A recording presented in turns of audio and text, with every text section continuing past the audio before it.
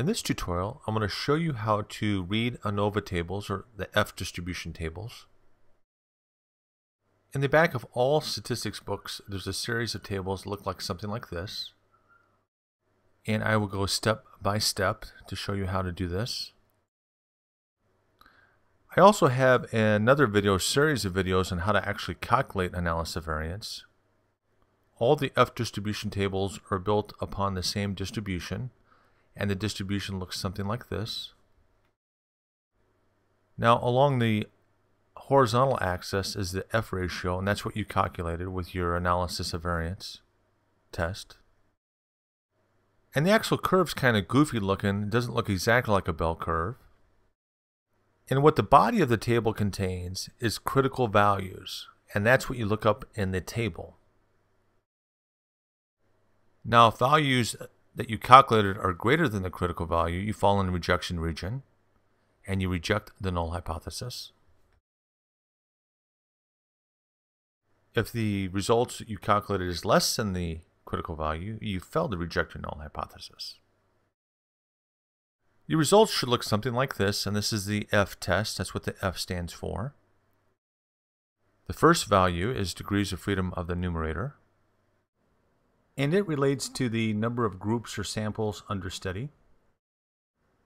The 12 is the degrees of freedom of the denominator, and it relates to the total number of observations. The 22.59 is the results of the ANOVA or your F-test results. And finally, this P is alpha, and it represents a level of significance, in this case 0.05. Now across the top of all these tables is the degrees of freedom of the numerator and it relates to the groups or samples. Along the vertical axis is the degrees of freedom of the denominator and it relates to the number of observations. And in the body of the table are critical values, all your critical values. Often you'll see tables like this, and across the top are degrees of freedom for the numerator, and on the vertical side of degrees of freedom for the denominator. Notice it has a level of significance of 0.05, which is that 0.05 there. And I'm going to highlight all the red and red, all the critical values for 0.05.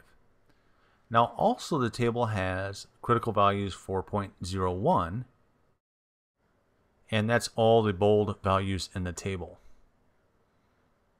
So you have both 0.05 and 0.01 critical values. So it's kind of confusing to say the least. Now I'm going to look up a very specific critical value and show you how to do that. And again, the level of significance is 0.05, and I'll just check that. And that's what that A is equal to 0.05 means, alpha or level of significance. The first number is the degrees of freedom of the numerator, and that's across the top, or the columns. And it's that column right there, which is the 2 column. The second value we look up is the 12, and that's degrees of freedom of the denominator, and it's row 12. So I'll just fill that in right there. And where they intersect is the critical value, and in this case it's 3.89. So the critical value is 3.89, and I'll draw in my little curve so we can see. I always like to visualize things. Draw this in, the F ratios, the curve in right there. Now the 3.89 is approximately right here, and that's the critical value.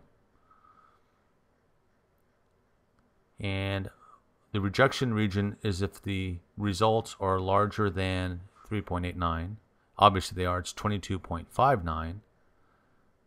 So we reject the null hypothesis. Actually, 29.59 is probably way out there. So it turns out